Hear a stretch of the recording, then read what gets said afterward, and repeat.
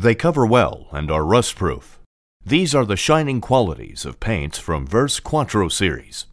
The paint is available in all single colors and also in customer-specific RAL colors and special tones. The paint tins have a pivotable fan nozzle as standard, which can be set for horizontal or vertical spraying. The paint itself is characterized by extremely good covering and best rust-proof properties. The high-quality nitrile alkyd quality ensures that the paint has a good gloss and spreads well.